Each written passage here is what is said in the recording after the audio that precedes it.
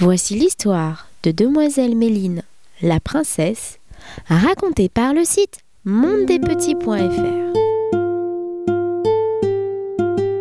Il était une fois un prince qui avait demandé la main de la fille d'un roi puissant. Elle s'appelait Méline et était admirablement belle. Mais son père avait refusé la demande du prince, car il avait décidé de donner la main de sa fille un autre prince. Or, les deux jeunes gens s'aimaient d'un amour tendre. Je ne veux que lui, déclara Méline, et je n'en épouserai aucun autre. Le père se fâcha. Il fit construire une tour à l'intérieur de laquelle pas un seul rayon de soleil ni la lueur de la lune ne pouvait passer. Et il dit Tu seras enfermé dans cette tour. Je viendrai régulièrement pour voir si ton obstination et ton entêtement ont été brisés. On apporta dans la tour à manger et à boire. Méline et sa femme de chambre y furent emmenés et emmurés. Le prince venait souvent près de la tour et appelait Méline par son nom. Mais le mur épais ne laissait pas passer sa voix.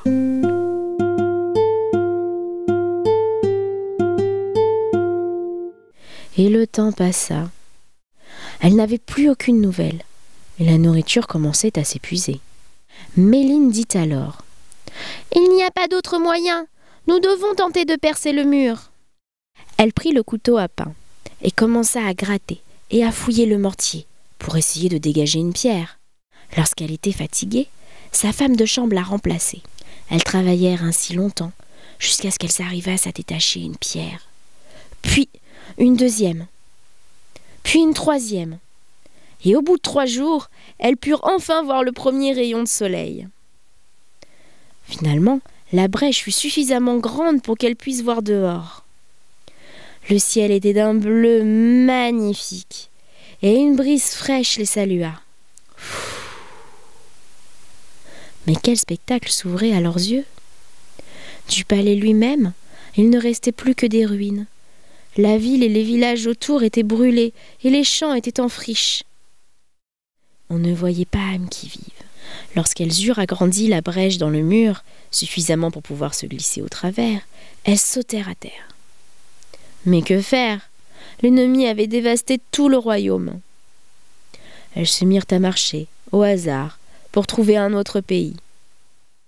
Mais elles ne trouvèrent ni un toit pour se réfugier, ni une seule personne qui leur tende un morceau de pain. Tout allait si mal qu'elles finirent par arracher des orties pour se nourrir. Finalement, elles arrivèrent dans une grande ville. Un cuisinier eut pitié d'elles et leur permit de rester pour l'aider à la cuisine.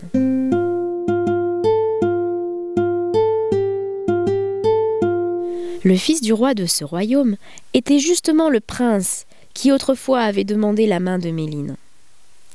Son père lui avait choisi une fiancée laide, au cœur dur. Le mariage approchait inexorablement. La fiancée était déjà là, mais à cause de sa laideur, elle ne s'était jamais montrée. Elle s'était enfermée dans sa chambre, et Méline lui apportait à manger directement de la cuisine. Le jour de la noce arriva, et la mariée devait accompagner son futur époux à l'église. Consciente de sa laideur, elle avait honte de se montrer en public. Elle dit alors à Méline C'est ton jour de chance.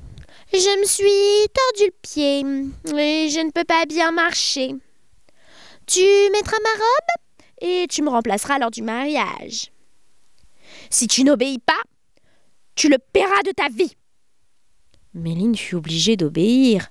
Elle dut se vêtir de la magnifique robe de mariée et se parer de ses bijoux. Lorsqu'elle entra dans la salle royale, tout le monde fut frappé par sa beauté. Le roi dit à son fils C'est la mariée que je t'ai choisie et que tu conduiras à l'hôtel. C'est le portrait même de Méline, pensa-t-il. Si je ne savais pas que ma bien-aimée est enfermée depuis des années dans sa tour, je croirais, ma foi, que je l'ai devant moi. Il offrit son bras à la mariée et la conduisit à l'église. Des orties poussaient près de la route, et Méline leur dit Ortie, petite plante gracieuse, tu m'as l'air bien soucieuse. Ne t'inquiète pas, je n'ai pas oublié le temps du chagrin refoulé. Le temps où tu fus ma seule, Pitance. Peu douce et crue, mais en abondance. Qu'est-ce que tu dis? Euh, rien, rien. Je, je pensais juste à la princesse Méline. La connais-tu? Mais non, non. Euh, comment pourrais-je la connaître? Euh, je- je- J'en ai juste entendu parler. Le marié prit un collier de très grande valeur et lui passa au cou. Ils entrèrent dans l'église et devant l'autel, le prêtre lia leurs mains et les maria. Sur le chemin du retour, Méline ne prononça pas un mot. De retour au palais, elle courut aussitôt dans la chambre de la mariée, ôta la belle robe, rangea les bijoux et remit sa robe. Elle ne garda que le collier que le marié lui avait passé autour du cou devant l'église. La nuit tomba, et la méchante princesse devait être conduite dans la chambre du prince. Elle voila son visage, pour que le prince ne s'aperçût pas de la supercherie. Le prince demanda Qu'as-tu dit aux orties près de la route? À quelle ortie? Je parle pas aux orties, moi Si tu ne leur as pas parlé, alors tu n'es pas la vraie mariée. Mais la mariée trouva la parade. Attends, attends s'écria-t-elle. Elle sortit de la chambre et s'en prit à Méline. Servante Qu'as-tu dit aux orties près de la route? Je n'ai dit que cela. Ortie, petite plante gracieuse, tu m'as l'air bien soucieuse. Ne t'inquiète pas, je n'ai pas oublié le temps du chagrin refoulé, le temps où tu fus ma seule pitance, peu douce crue, mais en abondance. Ah, cela te coûtera la vie Elle retourna vite près du prince. Ça y est, je me rappelle maintenant de ce que j'ai dit aux orties.